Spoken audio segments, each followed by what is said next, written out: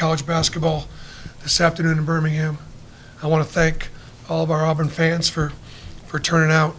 Um, we had uh, we had 63 men uh, go through prostate cancer screening. And, uh, I believe it's Urology Centers of Alabama. That is the group that, along with the Slive Foundation, that provided those services. Um, one in nine are going to be diagnosed with prostate cancer. And I'm praying that those diagnoses are early stage and they'll be able to treat and make a difference tonight. It's, again, just a reminder to all of us it's just a simple blood test. You get to be 40 years old, you got to get a colonoscopy. You got family history, 40's the year. So it, it's just, again, we lost Mike Slive too soon. We lost him too soon because when he found out he had nice horns, when he found out he had prostate cancer, was stage four. He fought. And so that's why we do, that's why Anna Slive and her family are doing this, and that's why we've been committed to playing. I want to thank St. Louis University for coming to this game. Um, when they found out what we were doing, they said we're in, knowing they had to come to Birmingham and Alabama, a neutral site, knowing it was going to be like an away game. I give Travis Ford a lot of credit for that. In return, I'm going back there. I don't know a ton of SEC schools are going to play at St. Louis, but we are.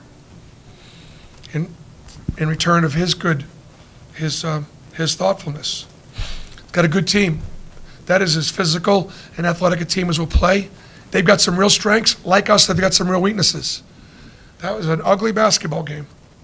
And uh, uh, that's a sign of a great coach in Travis Ford that he can do some things defensively, a great game plan.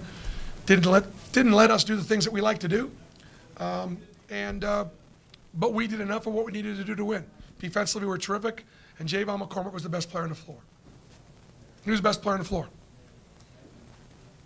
A reminder a year ago when Jared Harper left early, I think it's kind of a no-brainer that you go get a fifth-year guy or you go get a JUCO or, you know, you got there, you- there's nobody else on the roster to replace him. But we had J'Von McCormick who averaged I don't know 12 minutes a game, maybe 14 or whatever it was. He had done all the right things, and I told the team, I'm not recruiting anybody else because he's earned this opportunity. Now there have been other players in other positions where I didn't do that, and I, I explained to the team why terrific student athlete, did all right things. He deserved the, and guess what? I think God kind of blessed that a little bit. You know, J'Von on both ends of the floor was incredible.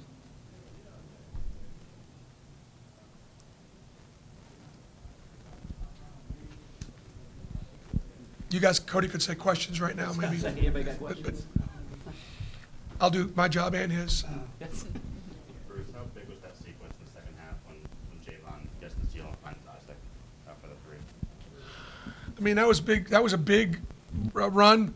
I, I thought we got into a bit of a rhythm with a, with with a, a, a, a some spacing that we were running, putting Isaac in a ball screen and rolling him down and throwing Anthony in a corner, and it bothered what they were doing to the point of we got two or three straight baskets, and Coach Ford had to call timeout, and um, so there was some obviously some really big big plays there.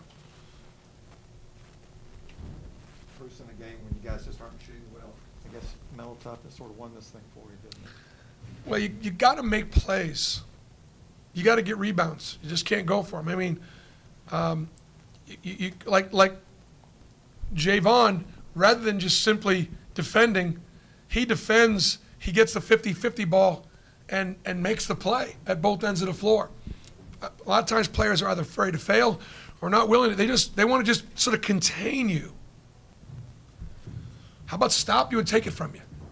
How about that? And J'Von stopped him, and he took it from him. And um, I think that that's important.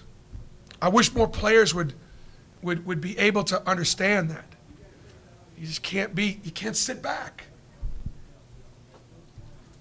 This might be a sample size thing, but uh, Cambridge finishes 13 minutes plus 16. Leads your team. Did you kind of feel his presence out there? I thought J'Von, Devan played, played better. He was active. Um, he had some big blocks. He obviously had a SportsCenter, you know, dunk. And, uh, I kind of stink, guys, so don't get too close. Um, but that's what we need. We need Devan. Or we need Jamal. We need Al.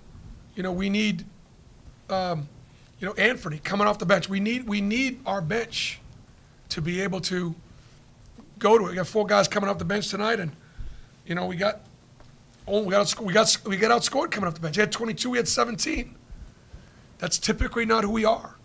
I'm really pleased with what Devan did, but I need more off my bench. We can take them for all three now. Or you tell you what, finish me up, and then I'll let you have the guys. I guess the rebounding was an issue, and then second chance points, and then free throw shooting. You know, the, the key to free throw shooting is getting there. Yeah, I'm still, I still think every one of them is going to go in. Absolutely believe, no matter who's shooting, I believe they're all going in. So, I would, you know, the sample size isn't very good. It's not, it's not a very good trend. But I think we can turn that around. I believe we can. Um, you know, just uh, the uh, that was a very physical game if we play other teams in the SEC that are that physical, we, we could get exposed again. We, we, there were some things that got exposed tonight, but it didn't get to exposed to the point where we couldn't beat a good basketball team. Are we good with? You good, guys? All right, wear these guys out.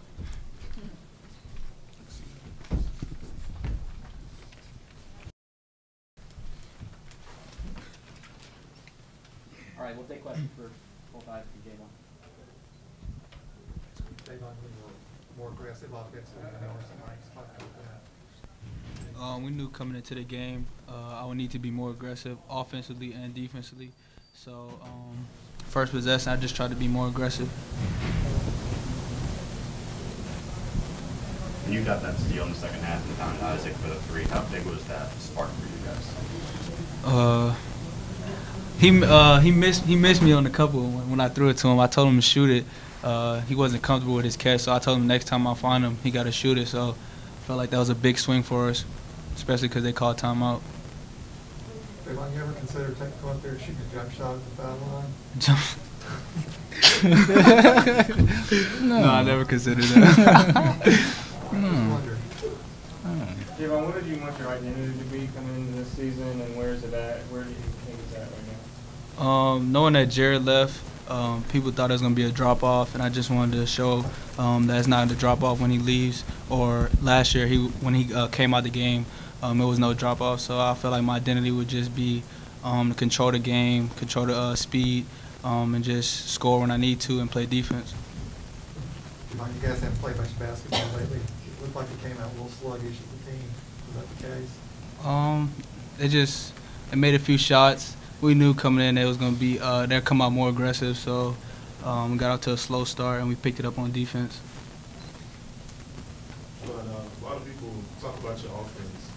Um, you just mentioned the defense. What's you guys' mindset on that? Uh, a couple big stops in the game.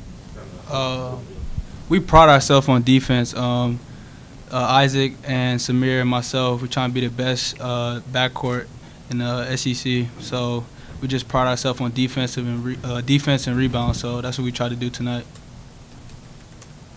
Isaac, was this a game your defense won the game for you today?